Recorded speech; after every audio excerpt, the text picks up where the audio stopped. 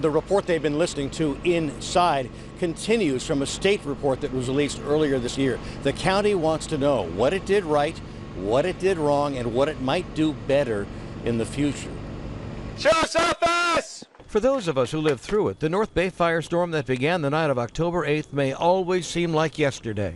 In the Sonoma County Board of Supervisors today, this man, Christopher Godley, delivered the county's own report card in the form of a thick book. You'd be hard pressed to stop a fire that moved that fast and that was that intense. He is the county's interim emergency services manager after a state report last winter cited problems, including a breakdown of the county-wide alert system. This new report has elaborated.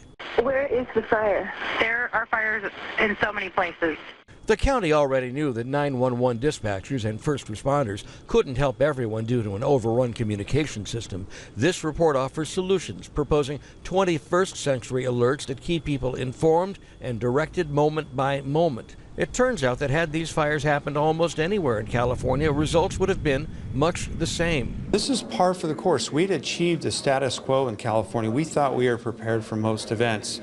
And all the more important, he said, with chances of a major regional earthquake at 70% in the next 30 years. As the North Bay learned from the fires, systems we have today will not be able to cope with trapped people, ruptured roads, and food, fuel, or water shortages. Let these fires be a lesson, the supervisor said today. The state had no uh, policies or procedures, and they need to develop them. They need to develop them for all 58 counties, not just here. Call it a work in progress from a disaster still in recovery mode.